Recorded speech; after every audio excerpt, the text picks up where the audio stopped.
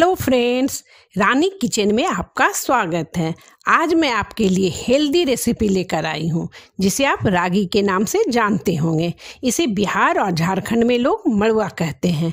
इसे मैं गेहूँ का आटा और चावल के आटा के साथ बनाऊँगी। यह एक हेल्दी स्नैक्स है, रागी यानी मड़ुआ में कैल्शियम, आयरन और अमीनो एसिड भरपूर मात्रा में होता है।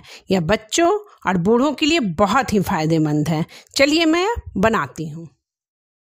ये देखिए, अब मैं रागी चीला का घोल तैयार करती हूँ। एक बाउल ले ली हूँ। सबसे पहले एक कटोरी रागी पाउडर है। हाफ़ कटोरी राइस पाउडर है। हाफ़ कटोरी आटा है, जो गेहूँ का आटा आप खाते हो, वो है। उसमें मैंने थोड़ा हाफ़ टी स्पून जीरा पाउडर वन टी स्पून नमक, और इसमें मैंने दो चम्मच लगभग दही दिया है। सभी चीज़ों को मिला दीजिए। पानी है जो धीरे धीरे आप इसको दीजिए। मुझे इसका पेस्ट को बहुत पतला नहीं करना है। गाढ़ा ही रहेगा।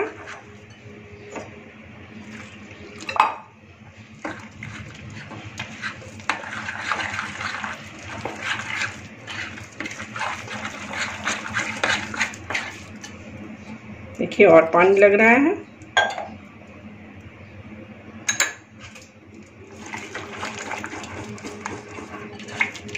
बस इसी तरीके से मिला लीजिए। थोड़ा और पानी था, वो भी मैं दे दी हूँ दो कटोरी पानी पड़ गया है। अब मैं, अगर मुझे और पतला करना होगा तो फिर मैं बाद में देखूँगी, जब बनाने लगूँगी। अभी मुझे इसे रेस्ट करने के लिए हाफ़ आवर छोड़ देना है। हाफ़ आवर हो गया है इसका।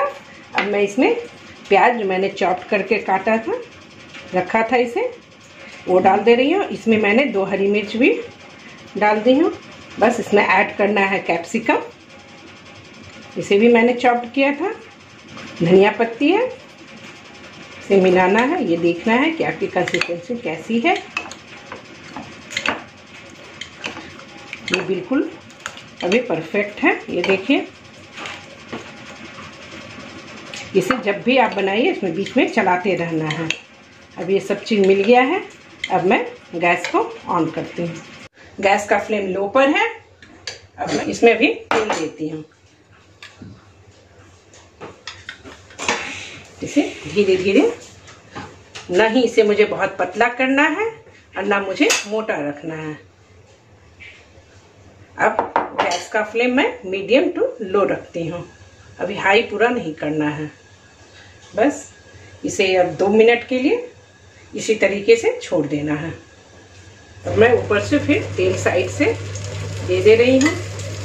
आप इसे बटर के साथ, तेल के साथ भी या शुद्ध देसी घी के साथ भी आप बना सकते हो।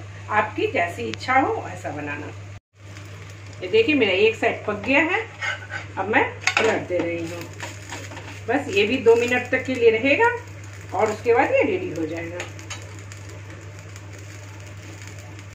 अब मैं इसे निकाल रही हूँ। अब देखिए, फिर मैं इसमें अभी मैं तेल भी नहीं डाल रही हूँ और इसे मैं इसे ऐसे चला लेना है। ना मोटा है, ना पतला है। और मैं इसके ऊपर से अब तेल दे दूँगी। ये देखिए, साइड से भी दे देना है। बस इसी तरीके से आप सारे चीले को बनाते चलिए। ये देखिए, मेरा एकदम परफेक्ट तैयार हो गया है चीला।